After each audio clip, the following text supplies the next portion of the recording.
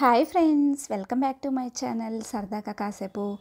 ఈరోజు మన వీడియో వచ్చేసి ఎంతో టేస్టీగా బీరకాయ పచ్చడి ఎలా చేసుకోవాలి అనేసి ఈరోజు మనం చూద్దామండి.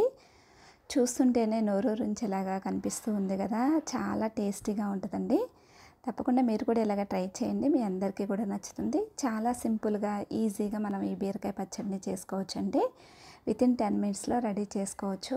ఇది ఏ టిఫిన్లోకైనా కానీ ఇడ్లీ దోశ పూరి ఏ టిఫిన్లోకైనా కానీ చాలా రుచిగా ఉంటుందండి. అలాగే వేడివేడి అన్నంలోకి కొంచెం నెయ్యి వేసుకుని తీసుకున్నామనుకోండి ఎంతో టేస్టీగా ఉంటుంది. ఇక మనం లేట్ చేయకుండా వీడియోలోకి వెళ్ళిపోదాం. వీడియోలోకి వెళ్ళే ముందు మీరు కనుక ఫస్ట్ టైం నా ఛానల్ చూసినట్లయితే సబ్స్క్రైబ్ చేసుకోండి అలాగే సపోర్ట్ చేయండి.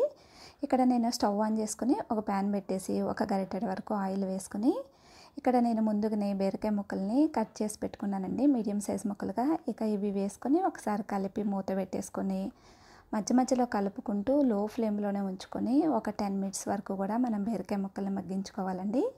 ఇక బీరకాయ ముక్కలు మగ్గిపోయాయి. ఇప్పుడు వీటిని తీసుకొని ఒక సైడ్కి పెట్టేసుకొని ఇక ఇప్పుడు అదే ప్యాన్లోకి ఒక వన్ అండ్ హాఫ్ కరెక్ట్ వరకు ఆయిల్ వేసుకొని ఆయిల్ కొంచెం హీట్ వచ్చిన తర్వాత దీంట్లోకి కొంచెం శనగపప్పు అలాగే కొంచెం జీలకర్ర కొన్ని ధనియాలు అలాగే వీటితో పాటు ఒక ఏడెనిమిది వరకు కూడా ఎండుమిర్చిని వేసుకొని ఒకసారి మొత్తం కూడా కలుపుకొని లో ఫ్లేమ్లోనే ఉంచుకొని కలుపుకుంటూ మనం ఫ్రై చేసుకోవాలండి. ఇది ఫ్రై అయ్యేటప్పుడు కొంచెం కరివేపాకు కూడా వేసుకున్నాను.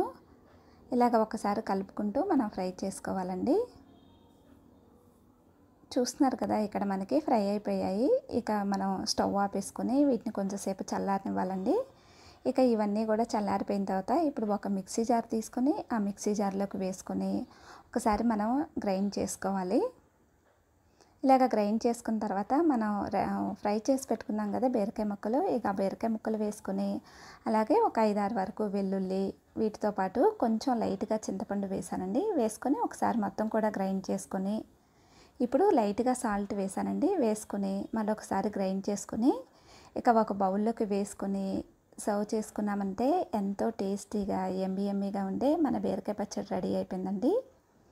చాలా సింపుల్గా ఈజీగా చేసుకోవచ్చు. చాలా టేస్టీగా ఉంటుందండి. తప్పకుండా మీరు కూడా ఇలాగ ట్రై చేయండి. మీ అందరికీ కూడా నచ్చుతుంది. ట్రై చేసి మీకు ఎలా వచ్చింది అనేది కామెంట్ చేయడం మాత్రం మర్చిపోమాకండి. ఈ వీడియో మీకు నచ్చిందని అనుకుంటున్నాను. ఈ వీడియో నచ్చినట్టయితే ఒక లైక్ చేయండి. ఇలాంటి మరిన్ని వీడియోస్ కోసం మన ఛానల్ను సబ్స్క్రైబ్ చేసుకోవటం మాత్రం మర్చిపోమాకండి. Thanks for watching.